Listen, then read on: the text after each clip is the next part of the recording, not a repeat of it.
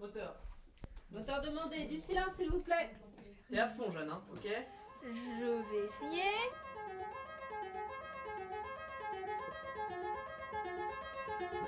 « 23 sur 2, première. Comme tu vas montrer, hein. Allez, à fond À fond, à fond, à fond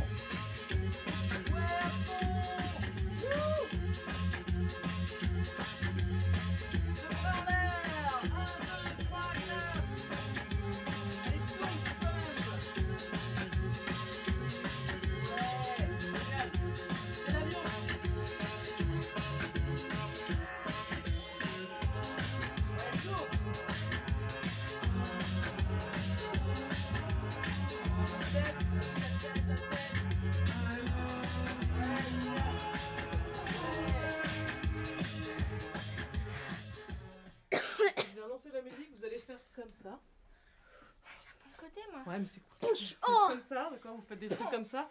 Et après, quand vous êtes fatigué, vous arrêtez et vous regardez sans se baisser. On est déjà fatigué. D'accord, Je relance un petit coup. Vous faites ça. Vous Voilà, l'histoire du film, c'est avant tout, euh, c'est aussi beaucoup l'histoire de sa conception. Euh, et pour moi, c'est un peu indissociable. C'est-à-dire, j'ai écrit ce film pour pouvoir le faire vite euh, et pour pouvoir le faire d'un trait. Donc, c'est trois semaines d'écriture, euh, c'est trois semaines de casting, euh, c'est 20 jours de tournage.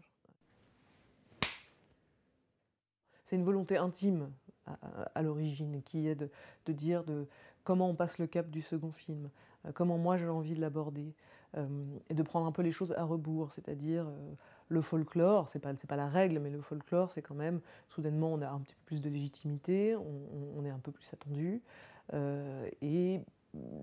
ça s'accompagne de nouvelles responsabilités qui peuvent s'accompagner de plus gros budgets, d'exigences de casting, de, voilà, soudainement on fait sujet, on fait... Et moi j'avais plutôt envie d'être plus libre, voilà, pour moi progresser c'était de pouvoir essayer des choses euh, à la- mise en scène, et euh, dans une autre énergie, et sans se poser les questions qui ne sont pas des bonnes questions de pourquoi on fait du cinéma. J'avais envie qu'il n'y ait dans le scénario que des séquences que j'ai très envie de tourner. Et que ces séquences aient la, place de s'exprimer. Euh, donc 50 séquences qui vont être longues, qui vont être toutes chargées d'enjeux. Donc pour moi, c'était pas tant faire une concession sur le récit qu'au contraire le maximiser.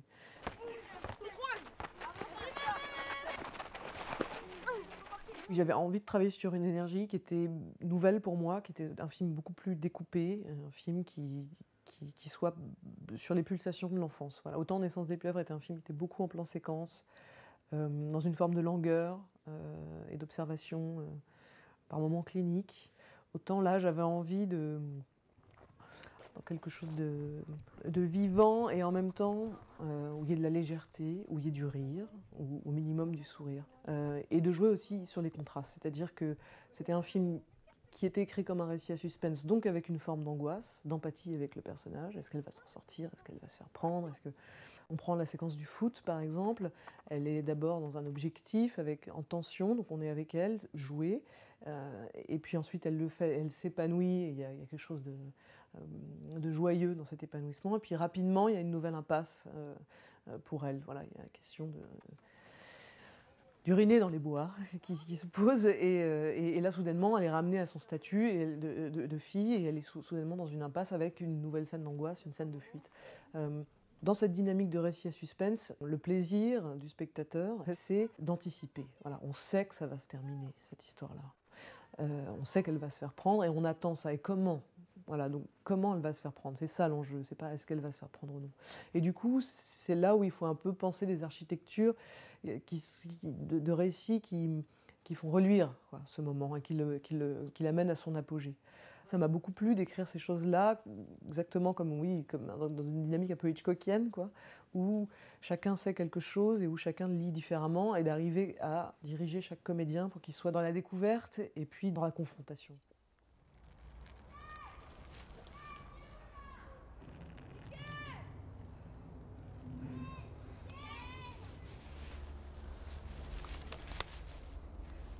J'essaye beaucoup de faire des films euh, de personnages. voilà. De personnages habités par quelque chose et qui ont des relations entre eux et de pousser au bout ces relations-là. C'est plutôt ça qui me- qui m'anime et, et ça va être ça le jusqu'au boutisme. Il est là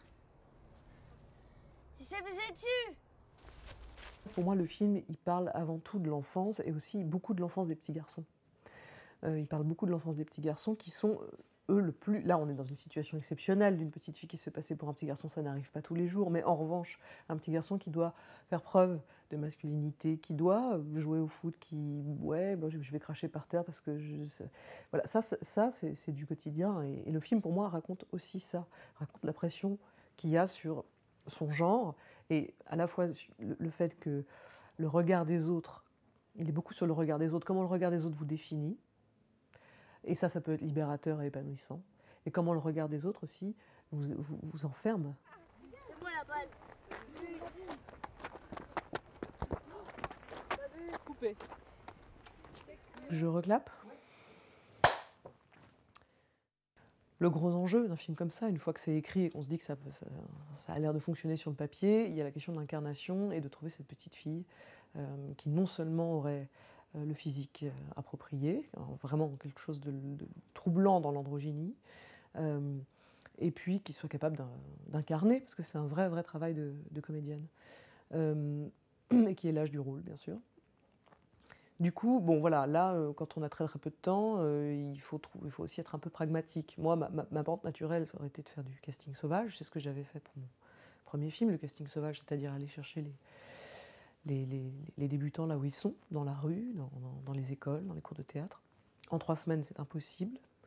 Euh, trois semaines, c'était parce qu'il y avait une date butoir purement administrative. C'est-à-dire que voilà, pour faire travailler les enfants, il faut qu'à un moment, leur dossier soit validé avant l'été. Donc on avait ce temps-là. Euh, du coup, on a procédé à l'inverse. J'ai travaillé avec la, même directrice du casting que sur mon film précédent, Christelle Barras, mais qui a l'habitude de- de- du casting sauvage, mais on a décidé d'aller en agence de comédiens. Euh, ce qui, sur le, papier, m'effrayait un petit peu, parce que c'est des, enfants qui ont déjà des, expériences souvent publicitaires, euh, qui ont un rapport à leur image qui est déjà construit. Euh, voilà, qui ne veulent pas forcément faire les choses pour les bonnes raisons aussi. Euh, mais ça a été notre chance, c'est-à-dire qu'il y avait cette petite fille en agence de comédiens qui s'appelle Zoé Errand, qui joue donc, qui finalement décroché le rôle, et finalement assez vite aussi, c'est-à-dire que je l'ai rencontrée le premier jour de casting. Elle est arrivée, la rumeur la précédait, elle- elle- on, on- on m'avait dit qu'elle pouvait avoir l'air d'un d'un garçon manqué. Elle arrivait en connaissant l'histoire, en ayant de l'appétit pour l'histoire, et on s'est tout de suite, euh, on s'est tout de suite rencontrés. Je préfère plus le sport qui bouge. Alors le basket, le foot. euh, Et euh, au niveau copains-copines, euh, t'as plus de copains garçons euh? Bah, la plupart, oui. Ouais. Parce que justement, tu fais beaucoup de sport avec eux, quoi. Mm. Moi, au collège, j'ai beaucoup de filles, bah, aussi beaucoup de garçons.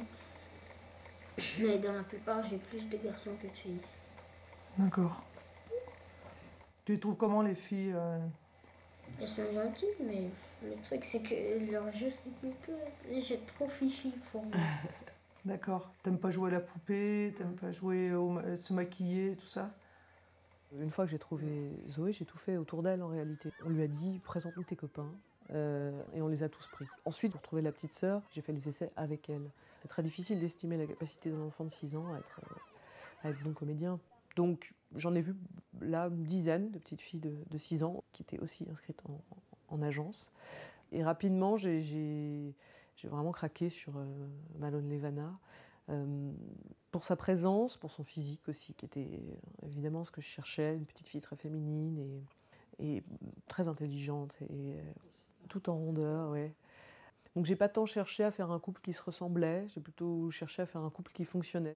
Et ensuite pour Lisa, ça a été un petit peu plus compliqué parce que là je cherchais une petite fille qui traîne dans la rue, une petite fille, une petite fille de la vraie vie, quoi. Et là pour le coup, on a fait du casting sauvage et on a rencontré euh, Jeanne Disson, Dans la rue.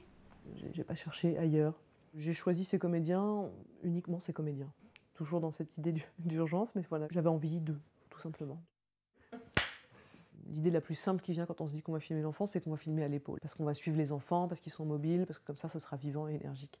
Et, euh, le film est, est construit à l'inverse de ça. C'est-à-dire que le film est essentiellement sur pied, les cadres sont posés, et voilà, je contrains les corps de ces comédiens à rentrer dans ces cadres qui sont évidemment pensés autour d'eux, euh, mais pour que le film soit concentré, voilà, c'est qu'il ne soit pas dispersé.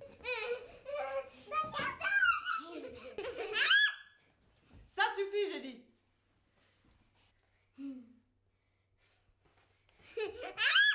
C'est d'abord un vrai dispositif de travail avec eux, c'est-à-dire ce sont pour moi des comédiens, donc je leur demande d'incarner, je leur demande d'être dans les enjeux des personnages, euh, dans la continuité du film, dans la pensée de ce qui se joue sur l'instant, de connaître leur texte aussi, etc. Là, il y a un vrai travail euh, de concentration. Et puis, il y a un autre mouvement qui se passe en même temps, qui est le dispositif de mise en scène.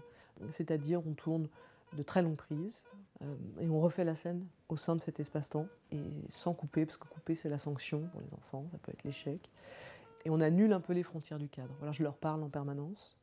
J'invente sur le moment le rythme de la séquence, les dirigeants même sur des gestes, sur des questions de, tempo.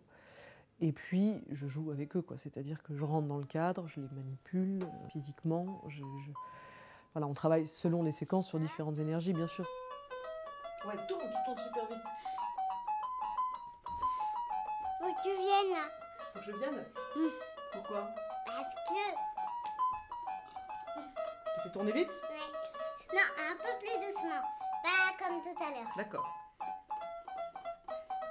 Euh, euh, vas-y vite.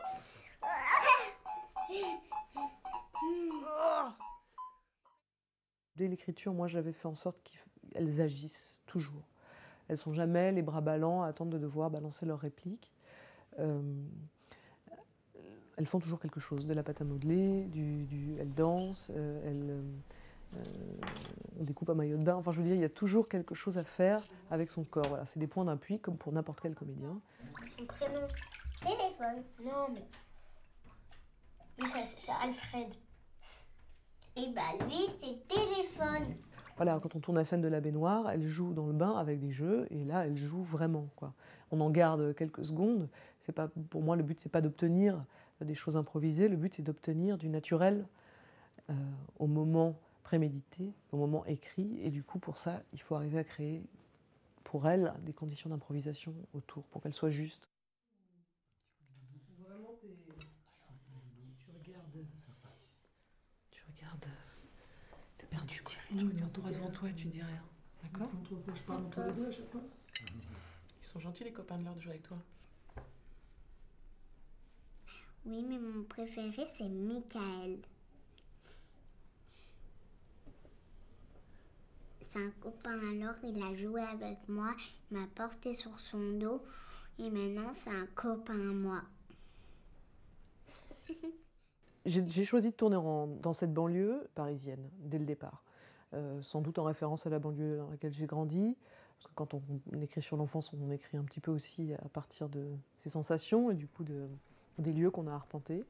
Euh, J'avais envie comme ça d'un lieu pour le rapport à l'espace que ça crée. Voilà, la ville nouvelle, le côté urbain et en même temps la proximité de la nature, c'était ça qui, m'intéressait. Tout le travail, c'est d'arriver à créer de la circulation entre les espaces et de la stylisation vraiment. Quoi, voilà. Par exemple, sur la scène du foot, il y a un mur. Ce mur, on l'a peint et on l'a peint de la couleur des murs de sa chambre. Voilà. Alors évidemment, tout ça, c'est pas pour que ce soit lisible, mais ça crée la circulation entre les espaces et ça crée un univers. Euh, Et ensuite, il y a beaucoup d'interventions. L'intervention sur les couleurs se fait aussi effectivement sur les costumes. J'avais envie de bleu, j'avais envie de rouge, euh, j'avais envie de, cou- de couleurs très tranchées. Je n'avais pas envie d'un film pastel, j'avais envie d'un film qui soit franc, d'un film qui soit solaire et lumineux, et du coup de, de se poser la question de comment les personnages sont des figures qui se détachent voilà, sur des fonds. Ça, c'est important.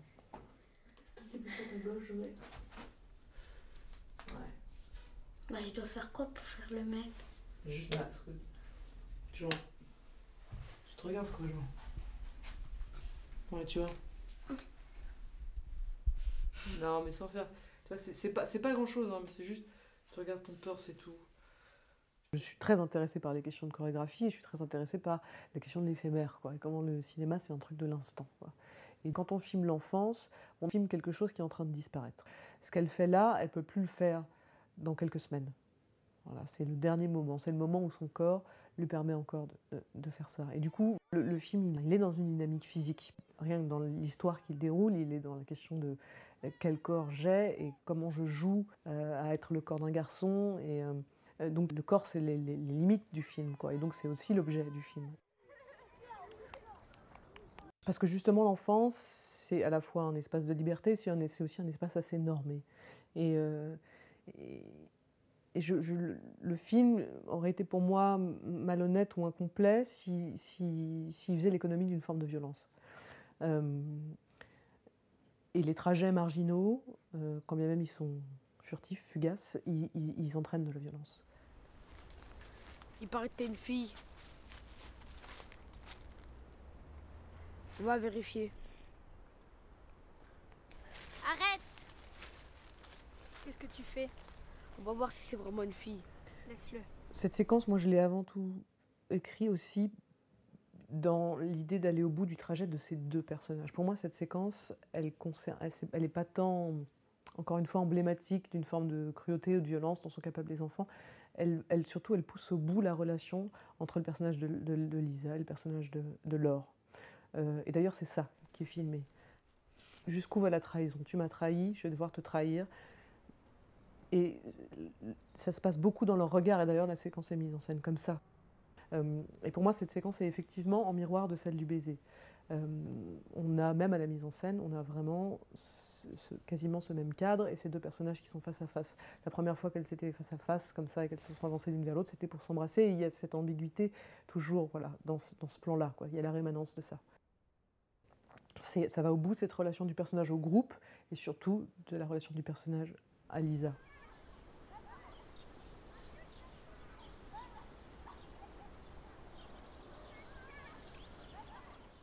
Euh, le film ne se termine pas sur je suis une fille, il se termine sur le fait de dire son prénom.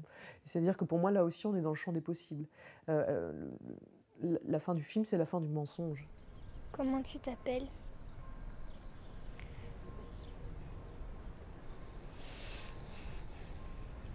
Je m'appelle Laure. Le fait d'affirmer qui on est, c'est aussi affirmer la possibilité de ne pas avoir à se cacher pour être qui on est. Donc pour moi, c'est un acte d'affranchissement. Euh, et c'est pas un retour à la norme et de dire voilà, bon, bah oui, je suis une fille, je m'appelle Laure. Il y a une deuxième rencontre qui n'annule absolument pas la première, pour moi, qui, et qui la redéfinit pas non plus. Voilà, elle, euh, on sent, moi, pour moi, on sent quand on ces deux petites filles, les sentiments quel qu'il soit, demeure, et elle dit son prénom, et ça veut dire je n'ai pas à être quelqu'un d'autre, je n'ai pas à mentir pour être qui je suis.